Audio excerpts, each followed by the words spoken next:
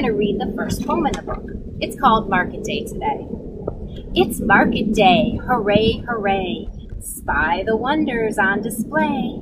Rainbow carrots, herb bouquets, heaps of berries, sample trays.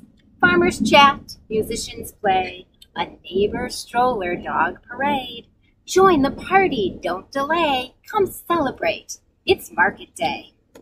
Clearly, I love farmers markets, and I also love poetry. This collection combines two of my favorite things.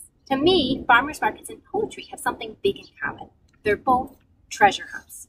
When you go to the farmers market, you can hunt the freshest, ripest produce that's perfect for that season.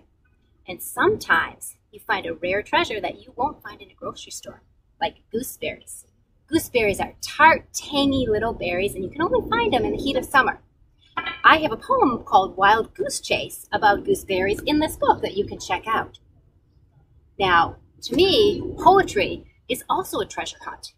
When I sit down to write a poem, I am looking for the crispest, freshest words that are perfect for that poem.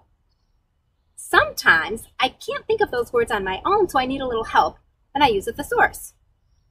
When you listen to the poems in this book, I want you to be on the lookout for words that you find delicious.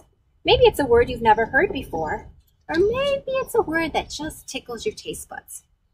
Then, when you go to write your own poems, be on the lookout for the best, crispest words that you can use in your own writing. Have a lovely, delicious reading and writing adventure.